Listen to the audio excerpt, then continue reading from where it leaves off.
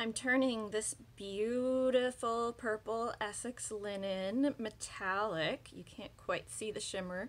Uh, I'm turning this into binding and of course I have to know how many strips to cut. So I'm going to my magical rainbow of binding and the quilt is 54 inches by 75 inches. That lands in the green zone which means I need seven strips.